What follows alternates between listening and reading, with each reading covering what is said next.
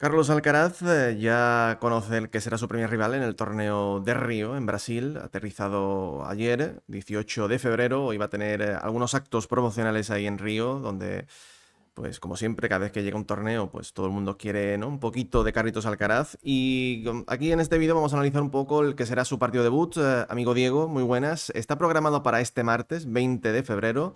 Lo que sucede es que, claro, da lluvia para toda la semana a priori en, eh, en Brasil, en Río de Janeiro.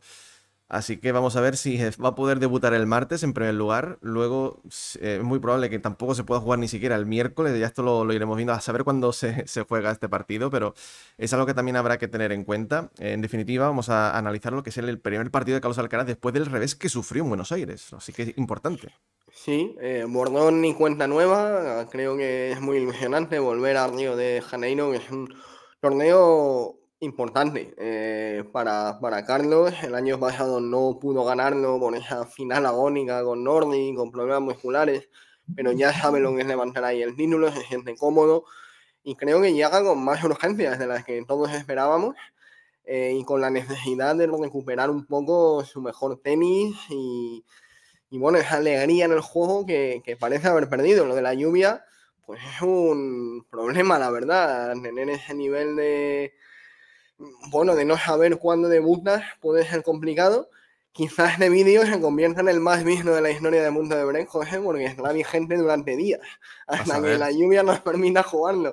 Así que vamos a analizarlo bien. Es que si, si, nos ponemos a mirar realmente un poco el tema del tiempo, eh, es que puede jugar hasta el no puede jugar hasta el jueves. Es que es probable. Sí, eh, esto ha pasado ya a veces. Sí, luego sí, es verdad que hay siempre pronóstico de lluvia y luego se quita, claro, es se muy va. cambiante. Claro, es muy cambiante claro. porque cae un tormentón y luego sale el sol, entonces quizá por ahí lo vayan pudiendo sacar adelante. Bueno, lo que sí seguro es que el martes ha dado lluvia para todo el día.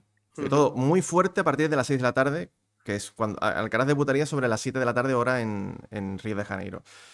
Entonces, eh, como digo, difícil que debute el martes. Luego el miércoles lo mismo. Sigue la lluvia. El jueves también. Entonces, a lo mejor se juega por tirones. Eh, La lluvia te permite jugar media hora, luego otro día eh, 20 minutos, otro una hora, no sé. Eh, En, en definitiva, iremos eh, viendo cuando juega Carlitos. En primer lugar, su rival. Este caso es Tiago Monteiro, el jugador local que ha entrado en el cuadro por una invitación, porque por ranking no le daba. Tiago Monteiro, de 29 años, zurdito, ya lo estáis viendo, zurdo. Eh, cuenta un poquillo, alguna cosilla sobre Tiago Monteiro, amigo Diego, ah, para conocer un poquito quién podrá ser el rival de. quién será en este caso el primer rival de Carlitos en Río. Bueno, pues un clásico de la, de la gira de tierra batida sudamericana. Eh, actualmente es el 117 del mundo, por eso no le daba para entrar directo en el cuadro. Pero es verdad que, que es un jugador que está acostumbrado a estar más arriba. Él ha sido top 100 durante bastante tiempo. Llegó a ser número 61 del mundo en, en 2022.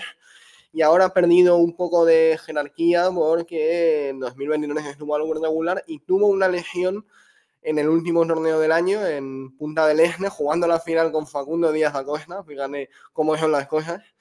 Eh, ahí se lesionó, por eso ha estado unos meses fuera, no ha podido competir en Australia. Y bueno, ahora está volviendo. Eh, creo que quizás no llegue eh, con el mejor estado de forma porque apenas ha podido disputar cuatro o cinco partidos antes de, de este torneo de Río de Janeiro. Y como te digo, José, pues es un claro especialista en esta superficie.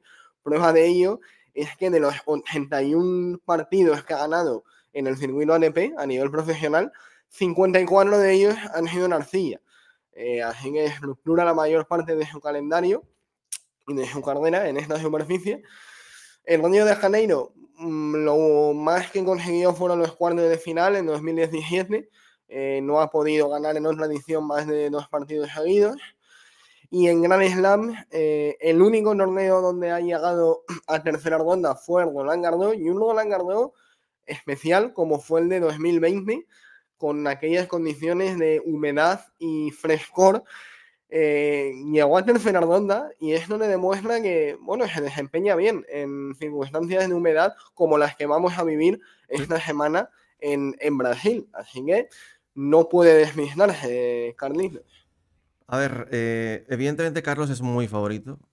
Por muy favorito, es ultra mega favorito, pero ¿qué pasa? Que claro, viene como viene y que ya incluso en Buenos Aires, eh, Camilo Garabelli, incluso Andrea Babasori y sobre todo Nico Jarry fueron eh, rivales que le complicaron bastante en ciertos momentos de los partidos.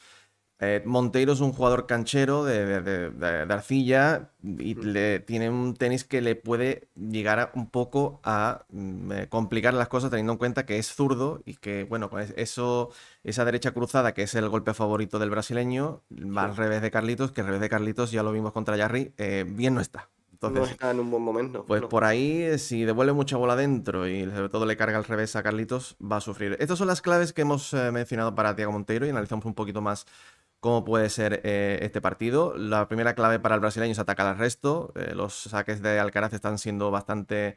Bueno, hay partidos con subidas y bajadas, pero en líneas generales no está del todo bien. Eh, atacar al resto con restos profundos y presionar a Carlitos es clave para, el brasileño.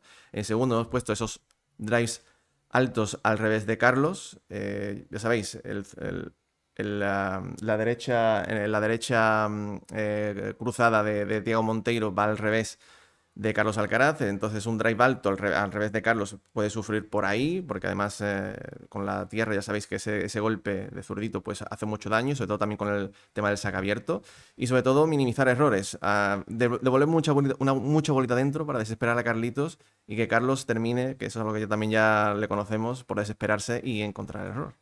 Sí, Monteiro se mueve muy bien, es muy consistente de fondo de pista y es verdad que su drive es muy bueno, ¿eh? porque ya no es solo que, que sea zurdo y que naturalmente le va el golpe cruzado al revés de su contrincante, sino que le mete mucha curva, mucho peso a la pelota y eso pues, le hace muchas veces adquirir la iniciativa empezando las jugadas por ahí.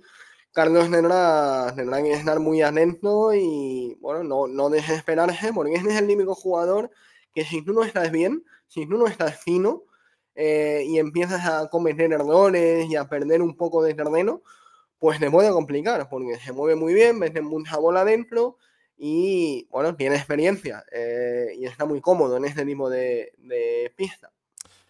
Pues esas no son las claves para Tiago Monteiro. Vamos con un Alcaraz que nos dejó un poco sabor amargo ¿eh? en Buenos Aires. Él se fue diciendo en rueda de prensa que había jugado durante toda la semana no a su mejor nivel, que tiene que eh, leer, mejor los partidos, sobre todo los momentos importantes. Vamos a ver una, nueva oportunidad, un poco para desquitarse y ganar confianza.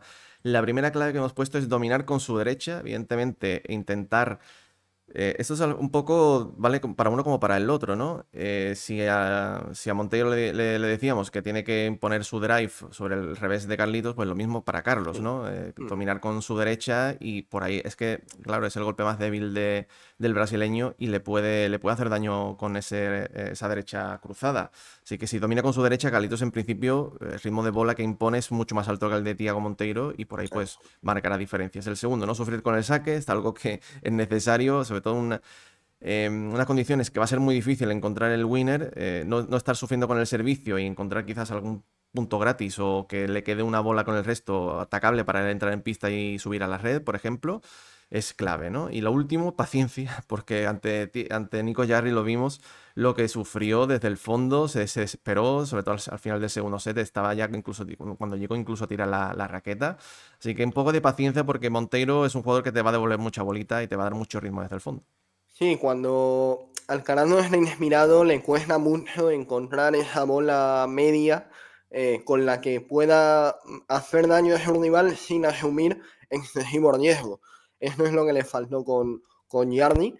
Y bueno, tiene que intentar encontrarlo, ¿no? Encontrar ese ritmo de pelota que le permita mover a su sin necesidad de buscar el golpe ganador eh, de primera. Tiene muchos más argumentos técnicos y tácticos que Monteiro, pero mm, si toma malas decisiones en la misma, se le puede complicar.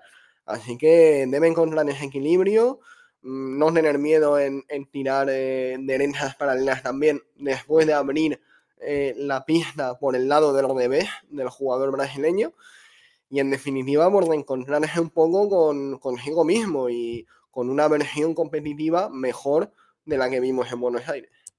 En cuanto a las predicciones, amigo Diego, mm, ¿opción a la sorpresa o gana Carlitos fácil? No, yo creo que tienen que ganar Carlos. Mm, vamos, sería ya algo un poquito preocupante eh, si pierde este partido. Así que quizá le cueste un poco entrar. El primer set puede ser algo más fardagoso, pero, pero yo creo que debería ganar Carlos en dos. Yo también opino que ganará Carlos en dos. Tampoco descarto uno, el primer set, un típico 7-5, 7-6, algo de eso. Que siempre entrar en los torneos cuesta, condiciones muy pesadas, además, es que vuelvo a repetir, condiciones muy pesadas, va a ser, va a ser difícil mover la bola, encontrar el winner, y eso a Carlitos no le gusta tampoco del todo, así que vamos a ver. Amigos, ahora vosotros aquí abajo en comentarios nos dejáis vuestras predicciones para este partido y ya sabéis, manos de paciencia vosotros también porque va a ser complicado seguir las andanzas de Carlitos en este torneo por culpa de la lluvia. Amigo Diego, muchas gracias y nos vemos en más vídeos. Hasta pronto. Genial, adiós.